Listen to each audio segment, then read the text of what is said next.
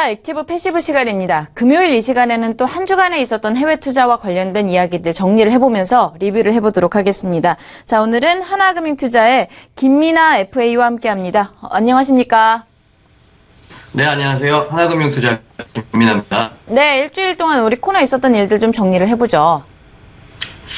네, 저희 일주일 동안 있었던 이슈 한번 정리해 보겠습니다. 지수 먼저 말씀을 드리고, 그 다음에 저희 개별 종목 좀 살펴보겠는데요. 일단 첫 번째로 저희 다우지수 먼저 보시겠습니다. 또 최근에 미국과 지금 북한이 각을 세우면서 예, 리스크가 증가하면서 뉴욕 3대 지수들이 동반 하락하는 그런 모습 보여주고 있습니다.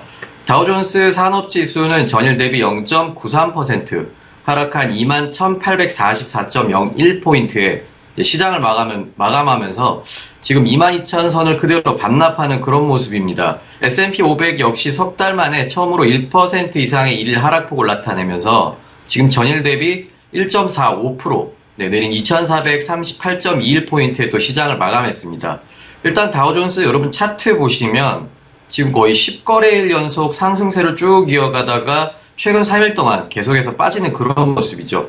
저희가 수요일 방송에서 잠깐 언급해 드렸었는데 시장에서는 아무래도 이번 하락의 원인을 여러분 뉴스 보셨겠지만 어제에 이어 지금 계속되고 있는 어떤 미국과 북한 사이의 긴장 고조 예, 이런 거에 따른 지정학적 리스크의 증가로 그렇게 보고 있는 분위기입니다. 그래서 어제 종가 기준으로 뭐 록히드 마틴이나 레이시온 같은 방산주들이 좀 많이 올랐고요. 그리고 국제 유가는 좀 큰 폭으로 하락하는 모습입니다. 반대로 리스크가 증가하면서 이제 금에 대한 수요가 좀 늘었죠. 그래서 금값은 지금 12월물 기준으로 온스당 0.8% 상승한 1290.1달러로 장을 마감했습니다. 그리고 다음으로 저희 나스닥 지수 한번 보겠습니다. 나스닥 지수 보시면 역시 예, 마찬가지로 전일 대비 지금 2.13%나 하락한 6216.87포인트의 시장을 마감했죠. 그러니까 기술주들이 거의 전반적으로 싹 다 조정을 받으면서 주가가 지금 급락한 그런 모습입니다. 이날 북한이 이제 괌에 대해서 뭐 사격하겠다 이런 계획을 일부 발표하면서 이제 미국과 긴장감이 다시 고조되었고요. 예, 트럼프 대통령 또 오후에 경고가 약했던 것 같다 하면서 막 발언 수위를 예, 그런 높이는 모습이었습니다. 그래서 이렇게 북한과 미국이 막 서로 막말하는 사이에 저희 대표 변동성 지수죠. 예, 빅스 지수 역시 지금 44.64%나 급등했습니다. 그리고 16.07을 기록했는데요. 이게 이제 시장의 심리를 그대로 보여주고 있죠. 그리고 윌리엄 더들리 뉴욕 연방은행 총재는 이제 뭐 이 와중에도 완만한 성장 추세가 지속되고 있고 그리고 노동 시장이 좀 강해지고 있고 인플레이션 애초 목표치였던 2%는 충분히 달성하겠다. 네, 이렇게 잘 가고 있다는 의견을 좀 피력했습니다. 그리고 유럽도 한번 살펴보겠습니다. 유럽 증시 보시면 역시 미국과 북한 사이의 긴장이 심해지면서 그리고 뉴욕 증시가 조금 약세를 그런 모습입니다. FTSE 지수 보시면은 전일 대비 0.37% 하락한 19,875.03포인트에 지금 시장을 마감했고요. 뭐 독일 닥스 지수를 포함한 전반적인 유럽 지수들이 거의 다 하락하는 모습입니다. 영국을 중심으로 주택 건설주들이 지금 대거 하락하는 모습 보였고요.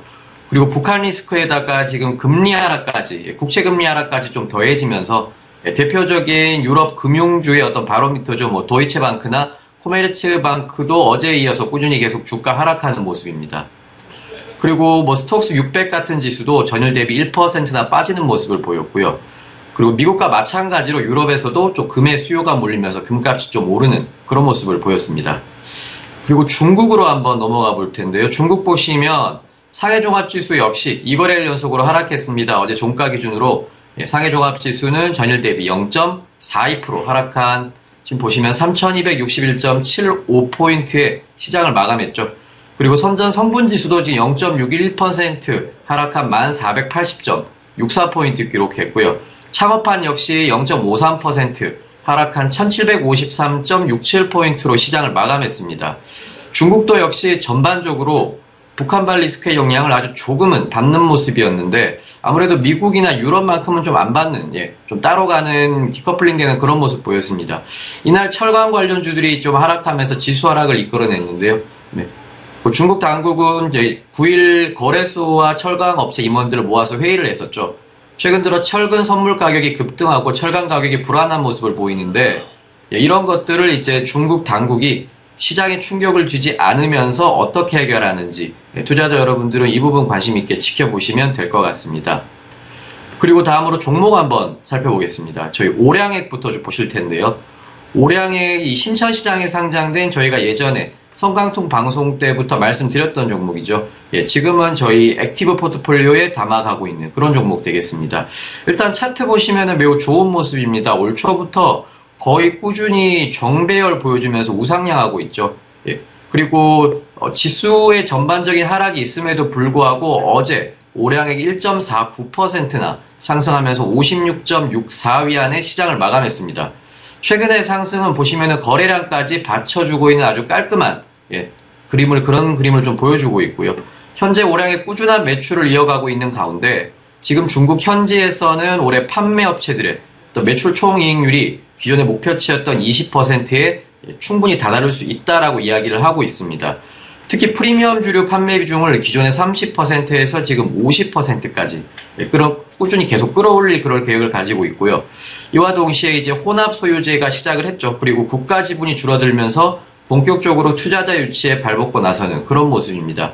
계획대로 비즈니스 잘 추진되고 있는 좋은 모습이고요. 우량예 보유하신 투자자분들께서는 이제 혼합 소유제 개혁 이 부분 좀 지켜보시고 또 프리미엄 주류 매출이 어떻게 이루어지는지 이 두 가지 체크 포인트로 보시면 될 것 같습니다. 이어서 넷플릭스 살펴보겠습니다. 저희 passive 포트폴리오에 포함되어 있는 종목이죠. 저희가 한 번에 추가 매수를 했어서 지금 비중 10% 가져가고 있고요.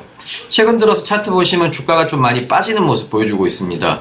그래서 어제도 전일 대비 지금 3.78%나 하락한 169.14달러의 장을 마감했습니다. 지금 170달러 선이 깨지면서 지난 27일 하락 이후에 반등하지 못하고요. 3거래일 연속으로 하락하는 모습인데 차트 보시면 어제부터 이틀 동안에 5일선과 10일선이 지금 dead cross 막 만들어내면서 네, 우하향하고 있는 약간 그런 모습 보여주고 있습니다. 이게 이제 세계 최대 엔터테인먼트 기업이죠. 월트 디즈니가 넷플릭스하고 결별하고요. 자체 영상 서비스를 시작한다. 이런 뉴스가 있었는데 이 이슈를 아무래도 직접적인 하락 원인으로 보시는 게 맞는 것 같습니다. 디즈니는 지난 8일에 분기 실적 발표하는 자리에서 넷플릭스와 결별을 하고 자체적으로 동영상 스트리밍 서비스를 실시하겠다 이렇게 밝혔죠. 자 이렇게 되면 원래 넷플릭스를 통해서 여러분들이 시청할 수 있었던 또 유명한 애니메이션들이죠. 뭐 주토피아나 아니면 모아나 그리고 미녀와 야수 같은 이런 애니메이션을 더 이상 넷플릭스에서 볼 수 없게 되는데요. 이 결정이 양사 모두 주가에 좀 악재가 된 것으로 보고 있습니다. 이 소식에 월트 디즈니 주가가 아마 당일에 3.8%나 빠졌고요. 그리고 넷플릭스 역시 주가가 2% 이상 빠지는 그런 모습을 보였습니다. 어, 아무래도 업계 경쟁이 시작되면, 시작되면서 생기는 성장통 정도로 보시면 될 것 같고요. 넷플릭스도 이번 이슈 전날에 밀러월드를 인수한다고 밝혔었죠. 네, 넷플릭스가 지금 처음 인수하는 예, 그런 회사인데 밀러월드는 여러분들 잘 아시는 그 킥애스나 아니면 킹스맨 시리즈 그리고 울버린 같은 영화의 원작을 제작했던 예, 코믹 출판사죠. 이런 캐릭터들을 이용해서 넷플릭스가 오리지널 시리즈를 또 제작을 한다고 하니까 여러분 이 부분 좀 살펴보시면서요. 저희가 포트폴리오 조절은 시장을 조금 더 지켜보다가 다음 주 중에 한번 언급을 해드리도록 하겠습니다. 일단 지금 10% 그대로 holding하겠고요. 자 마지막으로 VNQ 한번 살펴보겠습니다. 자 VNQ는 그동안 저희가 비교적 언급을 좀 적게 했던 종목이죠. 예, 어제 전일 대비 0.72% 하락한 82.61달러의 시장을 마감했습니다. 현재 passive 포트폴리오에 포함이 되어 있고요. 이 종목은 예, 미국 부동산에 투자하는 종목이었고요. 지금 차트 보시면 6년째 꾸준히 제가 월봉을 좀 준비했는데 6년째 꾸준히 우상향하는 모습 보여주고 있습니다. 자, 이게 passive한 종목의 어떤 매력이라고도 볼 수 있겠죠. 장기 투자와 동시에 저희가 금리 상승까지 염두에 둔 어떤 종목 배분으로 이해하시면 될 것 같고요. 저희가 83년, 1983년 이후에 있었던 지난 다섯 차례의 금리 상승기에도 그랬고요. 실제로 리츠 투자가 본격화된 2005년 이후를 보면 네, 미국의 실질 GDP 증가율과 이 리츠 지수가 상관관계가 굉장히 높은 거를 여러분 확인하실 수 있습니다. 자, 그래서 지금 저희 매수가가 82.16달러였고요. 지금 가격이 82.61달러입니다. 그러니까 지금 뭐 진입하셔도 뭐 부담 없는 종목이다 이렇게 말씀을 드리겠고요. 예, 미국의 경기 회복과 같이 간다 이렇게 이해하셔도 좋을 것 같습니다. 오늘 여기까지 말씀드리겠습니다. 네, 이렇게 해서 해외 투자 active passive 시간 한 주간에 있었던 시장과 그리고 종목별로 좀 점검을 해봤습니다. 오늘은 하나금융투자의 김민아 FA와 함께했습니다. 오늘 말씀 고맙습니다. 감사합니다.